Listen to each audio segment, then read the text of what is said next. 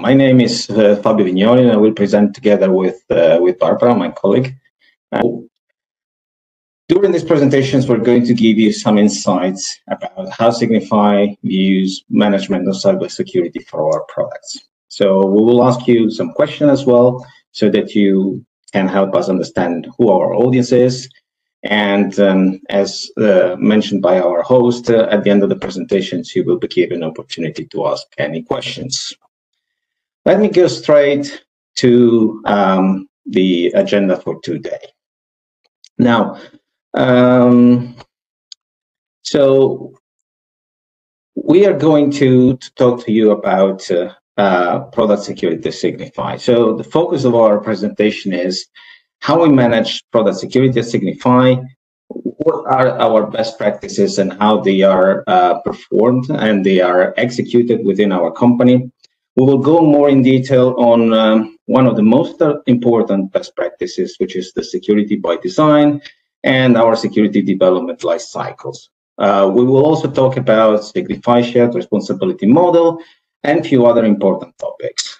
But first, before we really go into the um, crew of the topic, uh, let me uh, make a quick introduction about Signify. So who, who, what is uh, who is Signify? Who, are we? Yeah? So Signify is uh, uh, the world leader in light. Um, we produce high quality, energy efficient lighting products, uh, systems and services in mainly three key areas. So we, we, we really uh, focus on, on, on lighting. We only do lighting and we do light sources, luminaires, and systems and services. Um, we're the number one global leader in conventional LED and connected lighting systems and services. So in 2022, uh, we generated sales of about seven and a half billion, and we employ uh, 35,000 people in 74 countries. Now, core to our business, as mentioned over here in the slide, is sustainability. Not only um, our energy efficient portfolio, but also how we operate as a company. So Signify, in fact, has achieved 100% carbon neutrality in September 2020, and we help our customers to achieve that goal as well with our products. So speaking of our products, uh, it is important to, uh, to, to have a look at what we actually make. So we serve both the professional and the consumer market. So professional markets account for about 75% of our sales, and the offering compri comprise professional lighting products such as lamps and luminaires, professional systems such as our uh, Interact software suite, uh, professional services, uh, lighting design, consultancy, maintenance, management, lifecycle services, and of course, consumer products, uh, um, lamps, luminaires, and smart home light systems, uh, which we sell, which we sell with uh, our Philips Hue and, and Wiz brands. Now, um, I'm specifically focusing in these presentations on um, our professional segments, and I'm responsible for uh, the professional uh, uh, uh, product security. So, for, for the professional segments, we we we look into um, we, we divide it according to a number of uh, different uh, areas, such as road and streets and tunnels, uh, office, industry, uh, retail and hospitality, uh, landmarks, sports, agricultural, solar, entertainment, and so on and so forth. Um, this gives pretty much a, an idea what uh, what we do, and then let me show you who we are. So let me go to the next slide. here's the both of us. You can still uh, it. Um, so my name is uh, is uh, Fabio Vignoli. I'm the head of product security for uh, um, uh, the, uh, the, the digital solutions division. So we, as I said, we make um, security. We make products for for the professional market. I have a long background within the company, so I started working with what used to be Philips in 2001, and I worked myself um, my work my way through the company first in uh, in research, then in uh, software development, and eventually I joined the product security the product security team. Today I am responsible and I have broad responsibility within uh, um, Signify uh, uh, Digital Solutions for strategy, um, risk management and governance, application security, uh, manufacturing and supply chain security. Barbara, do you want to share yourself? Yeah, I will.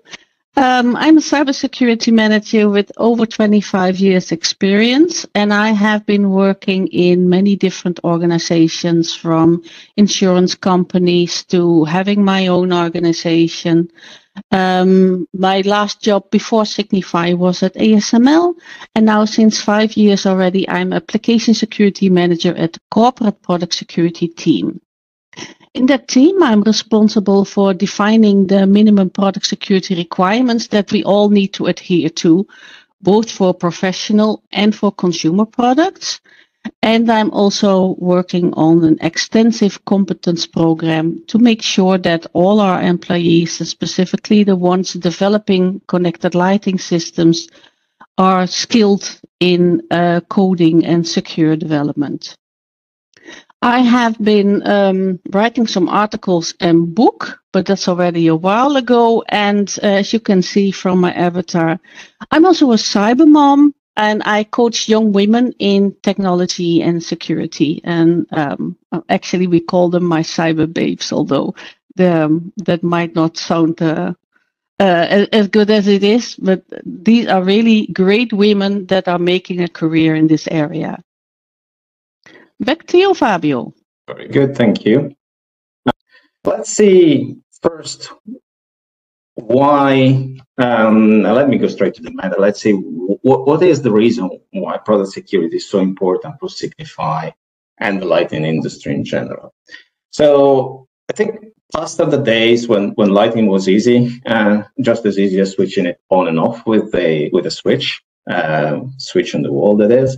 Uh, these days, uh, much of our sales are related to connected line points. This is uh, really the uh, most important um, elements, uh, most important markets for us. And connected uh, lighting is the signifies way to provide customers with an extended range of solutions and services to address their needs. That is in, related to smart cities, offices, um, retail, and, and, and a few of the other segments that I mentioned before. Now, to fulfill our promise to our customers, that our security promise to our customers, we want, to maintain the highest standards, not only in quality of light, which is absolutely important, and reliability of our systems, but also on cybersecurity. And, and, and cybersecurity for Signify means delivering um, systems to our customers which are designed and operated to maintain the confidentiality of data, their integrity, and guaranteeing the availability of our systems. Um, let me now over um, hand over the uh, stage to my colleague Barbara. She will go a little bit deeper in this topic. So, why is security actually important for our products? Some people might say, hey, it's just a light bulb.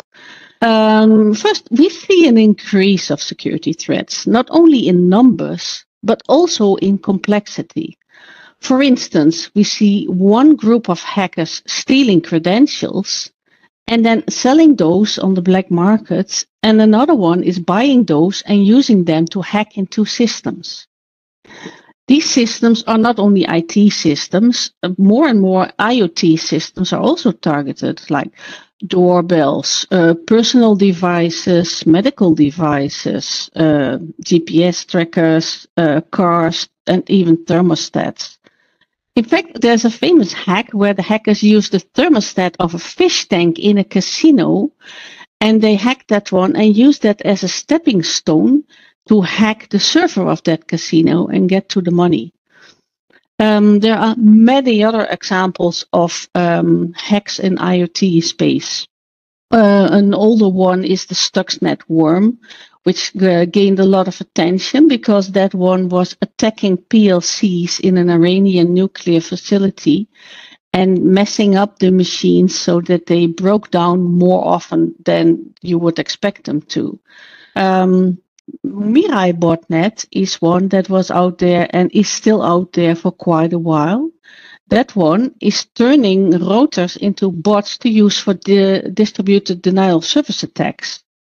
Um, and we see that Mirai botnet, because it was an open source, um, is being changed uh, um, to use other devices as well. So it keeps on growing and keeps adding on complexity. Another example are the GPS trackers that anyone could track or spoof. And only last year, the Tesla car was hacked. There's a yearly conference called Pwn2Own, which is challenging hackers to hack IT and IoT devices and earn cash prizes. So you see that the threat is definitely growing. Now, what does that mean for lighting? Since any lighting product, system, or service that is connected either directly or indirectly to the internet can be defined as connected lighting, and we see more and more devices getting connected, you see that the attack surface is increasing exponentially.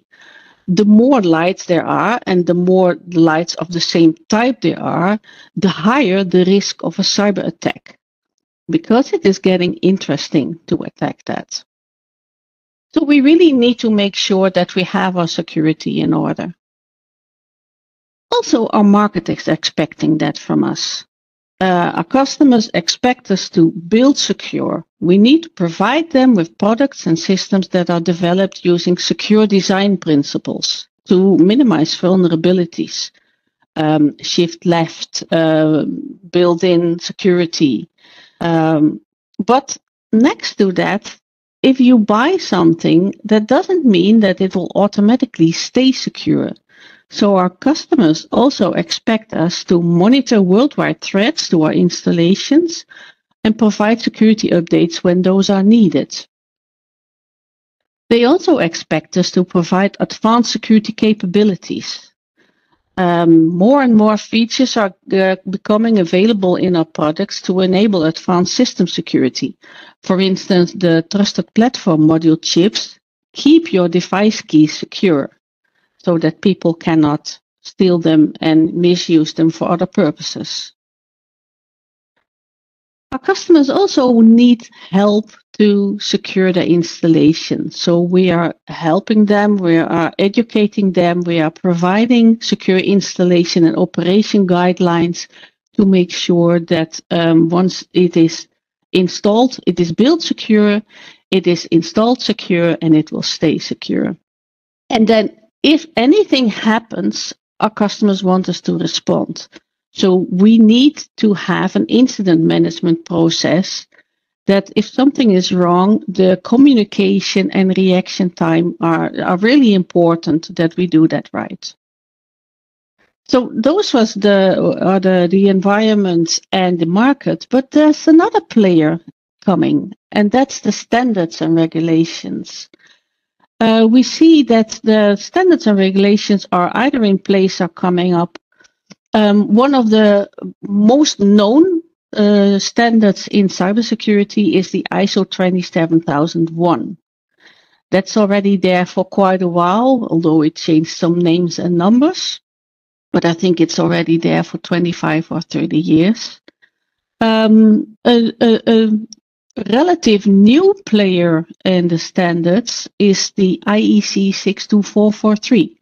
This is an international standard that addresses cybersecurity for operational technology in automation and control systems. So that one is used for um, um, professional lighting systems mostly. There's also the consumer security uh, guidelines and, and requirements, which is called the ETSI EN 303645. That has been released three years ago now, and that is also quite important. And it is those two, the IEC 62443 and the ETSI EN 303645, are being raised as standards uh, in different uh, legislation as well. Then finally, I want to mention NIST because NIST is also developing several standards for IoT security. One example is the SP 800-213 for IoT device cybersecurity guidance. So you see there's a lot of standards out there and a lot of regulations are coming as well, Fabio. And you can tell more about that, right? No, I believe so. I believe so. And I let me take over again. Yes, there you go. Uh, so yeah, let me add to the alphabet soup of uh, acronyms and numbers that Barbara started with because sorry for that. it's not only about standards, but it's also about regulation. Uh, we see, um, yeah, the, the, the, more lighting becomes connected, the more lighting uh, gets to a certain extent connected also to uh, being a, some, some uh, part of critical infrastructure.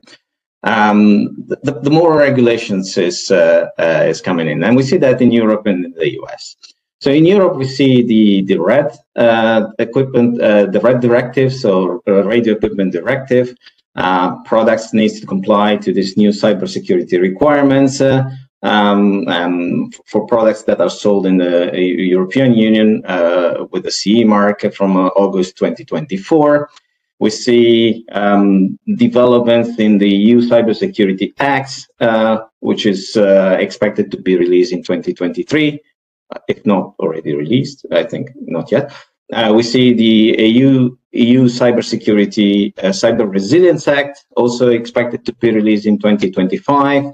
We see a number of uh, other um, initiatives and directives from the European Union, including the NIS2, uh, which are um, basically security requirements and reporting obligations uh, uh, for for specific uh, critical infrastructure.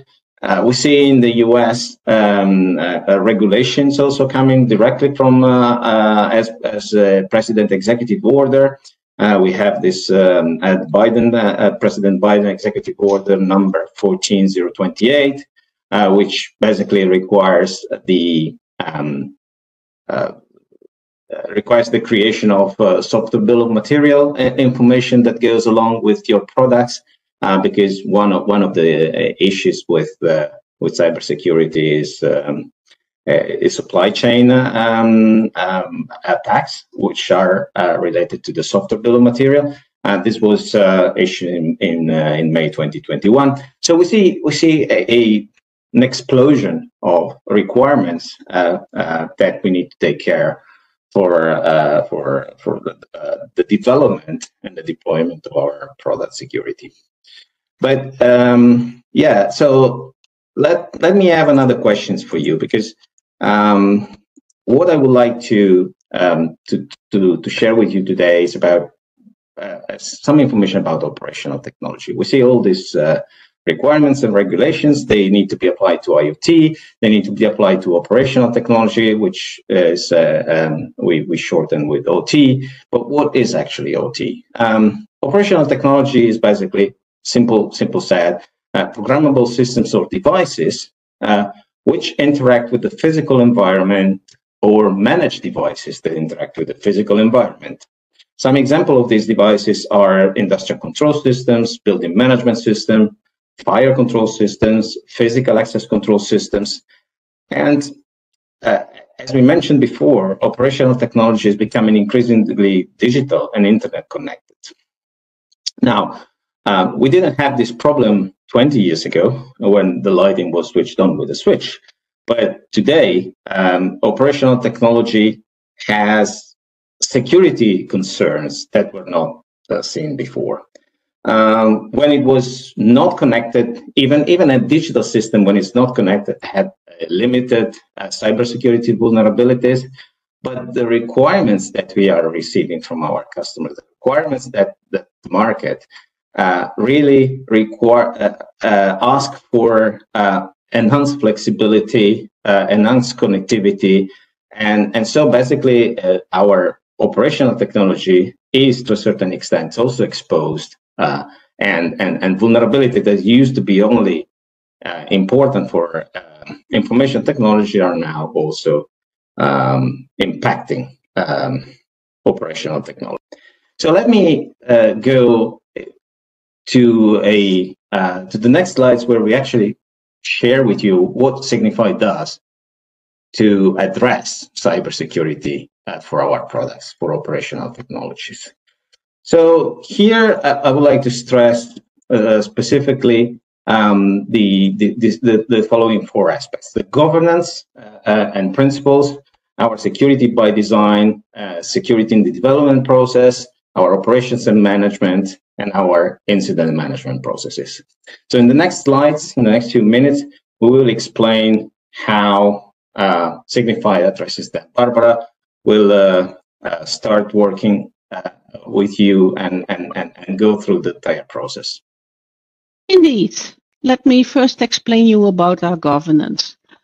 Uh, security is embedded into our organization from the security board at the highest level or central corporate security department, uh, the product security leads that are in the business divisions, to the network of security architects and security champions embedded in the development teams.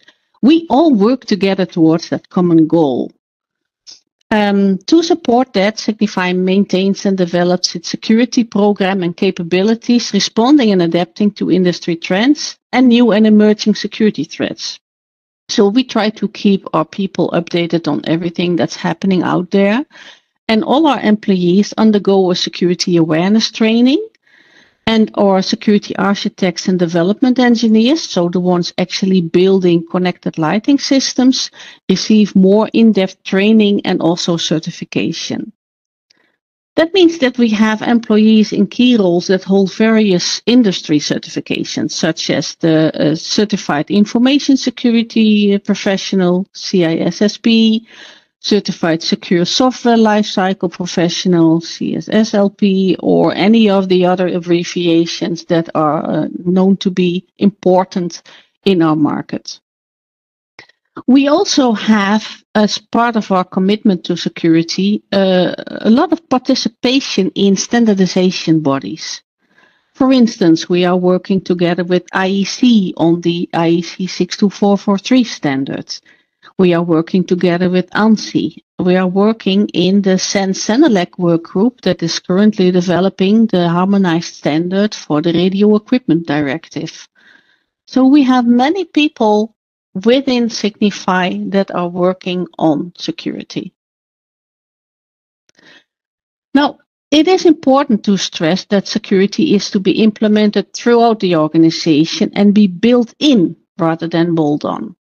Our policies and processes should be aligned and certified against international standards for security of information and operational technology. And certification is also important as it demonstrates with facts, not only with words, our commitment to security. And that's why we certified our secure process development lifecycle. So the thing that we use to build products on the IEC 62443 on the module 4-1, which is a certification on the secure building process.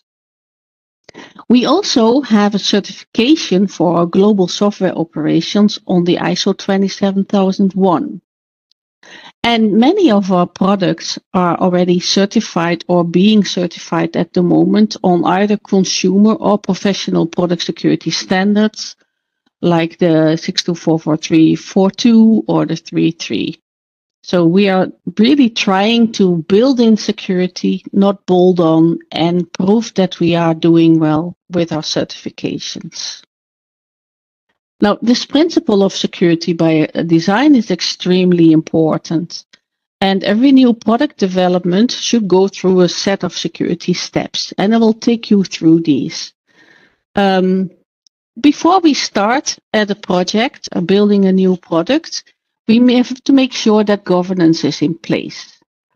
So we need to assign a product security champion to that product and make sure that both the team members that are developing and the product security champion themselves have the right competences. Only then we can start creating the new product. Then in the requirements phase, we need to do a product security impact assessment. In this product security impact assessment, we uh, look at the environment and the type of product that we are going to uh, deliver and decide what kind of security level matches that. For instance, if you have a normal lighting system, you might want to have a standard uh, security level.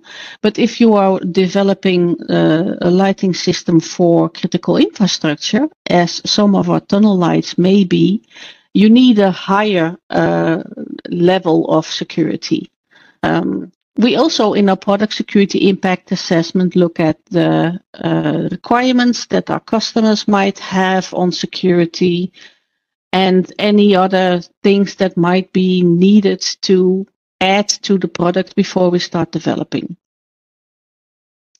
Then, once we have that, we do a threat modeling, including the security risk analysis. There we determine what needs to be added to the minimum security requirements that we already have. And we do a privacy impact assessment. If we uh, use any um, privacy relevant data, then it needs to have a privacy impact assessment. And it may well be that additional security requirements come out of that. For instance, um, uh, privacy related information, PII, uh, like names uh, and email addresses should be stored securely and encrypted. That's one of the requirements that should be met there. Then with the list of requirements, we go into the design uh, phase and we make an architecture, a secure architecture review. And then when the implementation starts, we have to make sure that all the steps before that are done. So we have a security check for development. During implementation, um, we need to make sure that there are no issues in our source code. So we have security code review, most of that is done by scanners, by the way, although manual, uh, manual reviews are also done.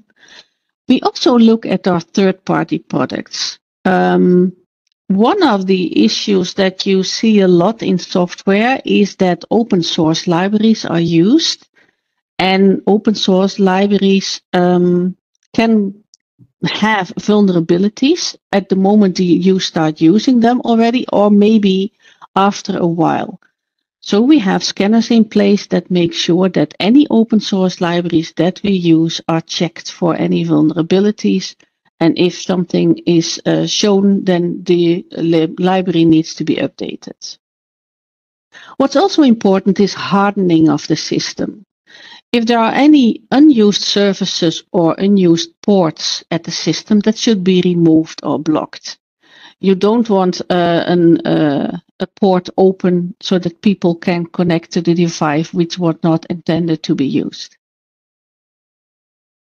Once the implementation is done, we move to verification and uh, vulnerability assessment scanners are run. We are doing penetration tests before release and of course functional security testing, both manual and automated testing take place. And then we have a security check for release and the product is released. But that's not the end of it. After release, we have to make sure that we monitor the product, that we maintain the product, and in fact, the maintenance process is exactly the same as the development process. So yes, for any changes that we do, we do a security risk analysis. We do the scans, we do the testing before it is updated. And if something is going wrong, then incident management need to be in place. The teams need to know what to do, when to do that, and how to solve any issues that come up. So this is our security development lifecycle that has been certified on IEC 62443 4-1 as well. Oh, back to you. Yes, let me take uh, over again for the last time. Um, so it's here. This is a promise. It's the last questions for the audience. So what we would like to understand from you, and I'll ask you, is uh, is it possible um, to understand or to to figure it out who's responsible for for for managing security? Because it is important for companies like Signify, who's a manufacturer of devices, uh, to define where the boundaries lies.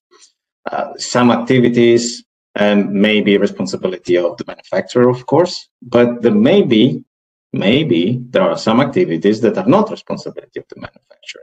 I would like to understand from you uh, what is that you think is that for operational technology is manufacturer fully responsible for security of the development, installations, uh, deployment, maintenance, uh, operations, and dismantling, or um, is that responsibility the system integrator, the installer, um, responsibility of the customers themselves, all of the above. In Signify, we have uh, a shared responsibility. We have uh, uh, we have created what's called a shared responsibility model, and we provide information to our customers and to our installers, uh, um, certified security installers, about uh, what are the specific activities that they are responsible for, so that they can uh, make an appropriate evaluation of risk and, and take proper care of the installations and operations.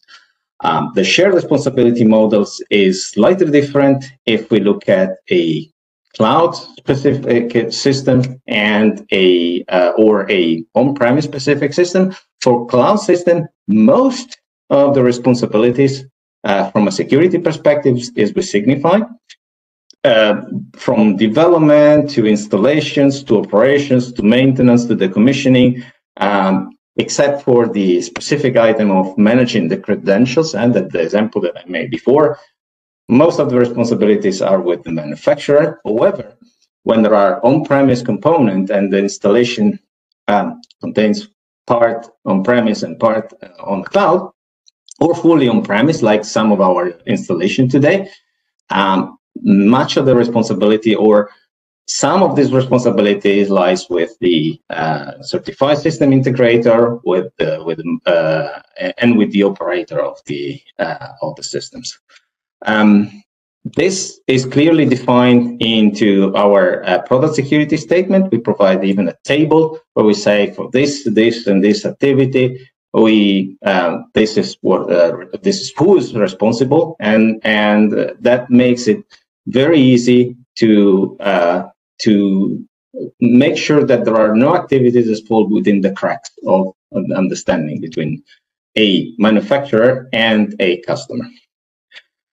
Um, talking about a few other important things about operations and management, especially for our cloud systems, it's very important that we, um, we share with you uh, what it means for um, to, to, to manage and operate the system security, at least for the cloud. Um, we perform activities such as security upgrades, vulnerability management, backup, uh, login, which are all necessary to make sure that uh, security is taken care uh, from uh, uh, the beginning to the end. Um, we have a thorough incident management process to make sure that the, the, the uh, any incident or any event, I have to say, before the, any security event has the right level of attention and the potential security incidents are taken care of, uh, including communications to customers, make sure that we have the right uh, people working on the specific incident and making sure that our customers are absolutely um, involved and, and, and, and, and we share the information with them. Um, additionally, it, what's also very important is that we take uh, incident management very very seriously in, in and, and the learning uh, from from this incident is actually used to improve our processes. We we have a continuous improvement uh, process for all of these uh, uh, for all of these activities. And finally, I think um, I would like to share with you um, some few other elements. So Signify uh, supports the, the coordinated vulnerability disclosures and encourages uh, responsible uh, testing of vulnerabilities by security researchers and customers. Um, we are open to receive all uh, uh information from this researcher and the and the people that are finding some um, issues with our systems. Uh, we also have a security advisory page where we share uh, to our customers with our customers what they need to do uh, to take care of some vulnerabilities that they found in our systems because no systems is uh, vulnerability free completely. And uh, yeah, and and we make this uh, this uh, security advisory uh, available for for um, for our customers to make the right choices. And with this, I think I would like to conclude our presentation. And thanks, Barbara, for supporting for a great presentation on our security development lifecycle.